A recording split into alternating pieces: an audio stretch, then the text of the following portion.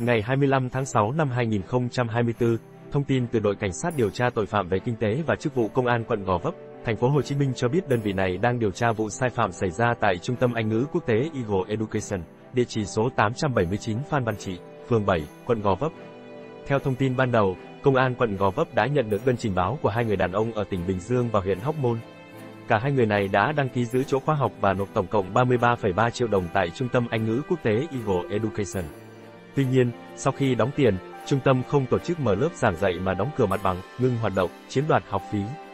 Theo nội dung vụ việc, công ty trách nhiệm hữu hạn tập đoàn truyền thông Eagle CR Việt Nam, do ông Trần Minh Tuấn, 33 tuổi, thường trú TP, Hải Dương, tỉnh Hải Dương, ở quận Thanh Xuân, TP, Hà Nội, làm giám đốc, người đại diện theo pháp luật của công ty, hoạt động theo giấy chứng nhận đăng ký kinh doanh do Sở Kế hoạch và Đầu tư TP, Hà Nội cấp lần đầu vào ngày 7 tháng 3 năm 2019.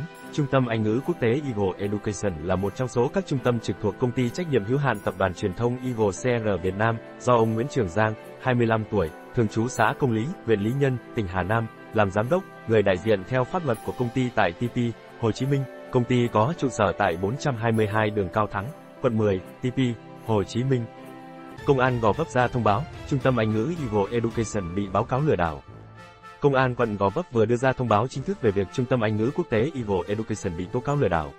Theo thông báo, những ai đã nộp tiền đăng ký khóa học tại trung tâm này thì liên hệ cơ quan cảnh sát điều tra công an quận Gò Vấp để trình báo và cung cấp hồ sơ, tài liệu trong thời gian 15 ngày kể từ ngày thông báo.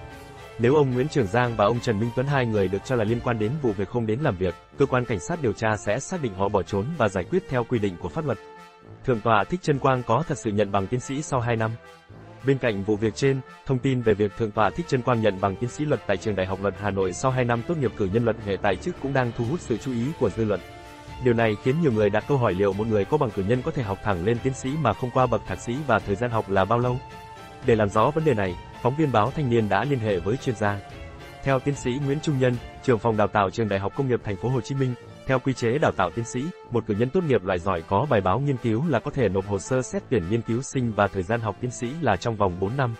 Tuy nhiên, đối với người có bằng thạc sĩ, yêu cầu có kinh nghiệm nghiên cứu thể hiện qua luận văn thạc sĩ.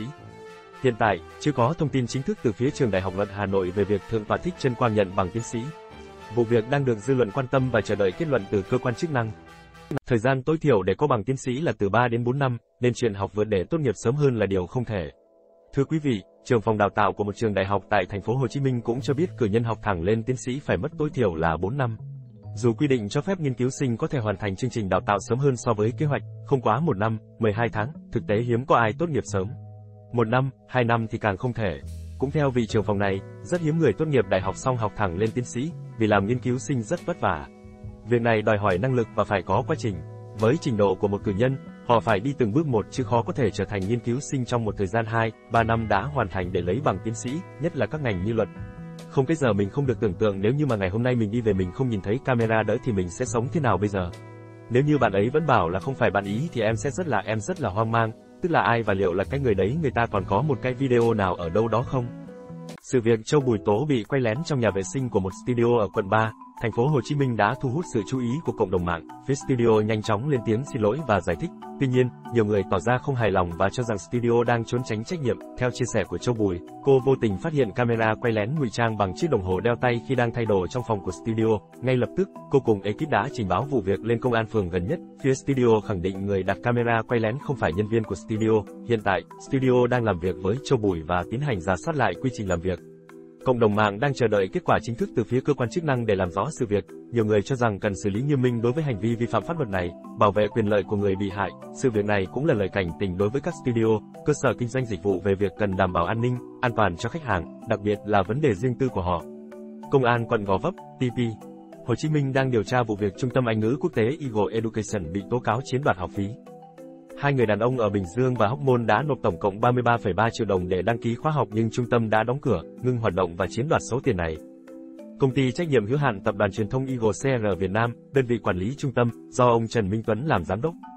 Giám đốc chi nhánh Eagle Education tại TP, Hồ Chí Minh là ông Nguyễn Trường Giang. Công an quận Gò Vấp đã đưa ra thông báo chính thức về vụ việc và yêu cầu những người đã nộp tiền liên hệ để trình báo trong vòng 15 ngày. Nếu ông Giang và ông Tuấn không đến làm việc, cơ quan cảnh sát điều tra sẽ xác định họ bỏ trốn và giải quyết theo quy định pháp luật.